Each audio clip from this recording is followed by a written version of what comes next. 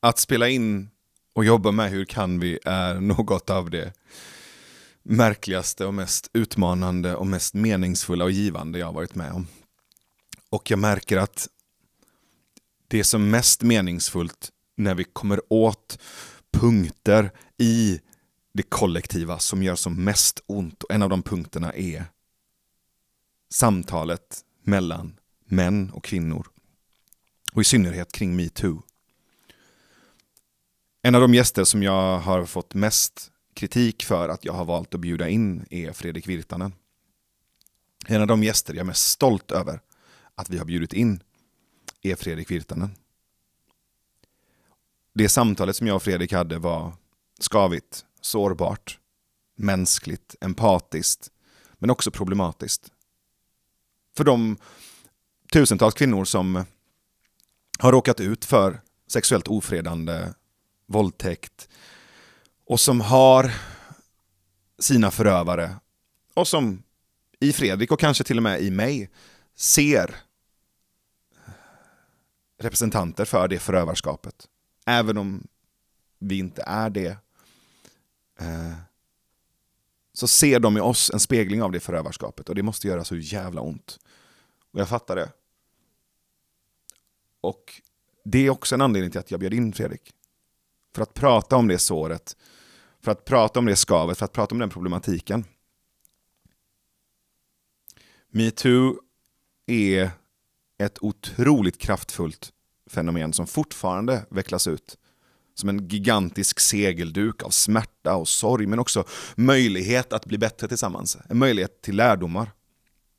Jag pratade med en kvinna häromdagen som berättade hur trött hon var på att hjälpa män att förstå vad som hände under metoo efter det. Jag fattar det.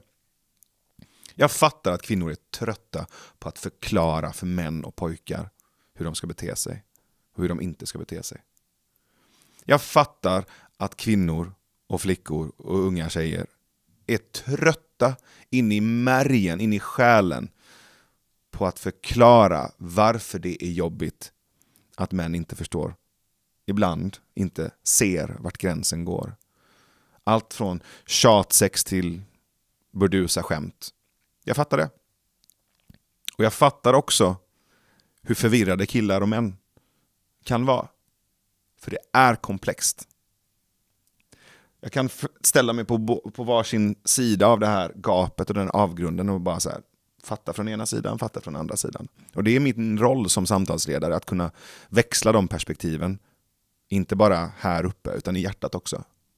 Kunna växla det empatiska perspektivet och känna känslan av smärtan och sorgen hos mina systrar.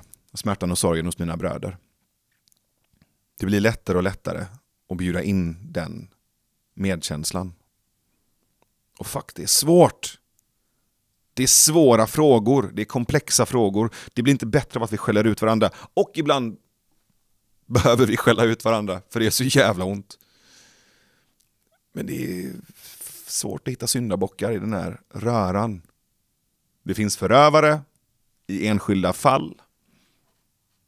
Men det är ingen sida som är syndabocken. Det är inte feministernas fel, det är inte patriarkatets fel. Det är våra gemensamma möjligheter och ansvar att se varandra, höra varandra, förstå varandra och minska den här klyftan. Så därför har jag bjudit in Fredrik Virtanen som en av gästerna på Hur kan vi live den 7 december på Börshuset i Malmö. Att tillsammans med mig, Ann Heberlein, som själv har råkat ut för otroliga sexuella traumer och Myra Årbäck Öhman som också har varit med om mäns brist på gräns och att se andras integritet. Och Fredrik Virtanen som själv själv erkänner och har pratat om att han kanske inte alltid betett sig helt rätt. Det har inte jag heller. Vi fyra ska sitta och prata om metoo på scen i en timme, för den här sortens samtal tar tid. Och försöka lyssna på varandra, försöka hitta de här ömma punkterna och skaven och se om vi kan lära oss någonting tillsammans. Vi undviker inte de obekväma samtalen. Vi söker upp dem. För det är min fucking plikt att göra det som man. som samhällsmedborgare, som pappa, som bror. Att titta på det här såret som finns hos männen, hos kvinnorna och mellan män och kvinnor. Och se möjligheter till läkande. Och jag tror att samtalet är en väg dit. Det är därför vi bjuder in till ett samtal om metoo. Jag hoppas att vi ses på Malmö Börshus den 7 december och att du också tar del av det här samtalet. Och har du inte möjlighet att vara i Malmö då så sänder vi samtalet live och hela eventet live. Du hittar all information på hurkanvi.se live oavsett om du kommer till Malmö eller tittar på det hemifrån. Oavsett vem du är, var du än sitter, om du identifierar dig som man eller kvinna eller någonting annat.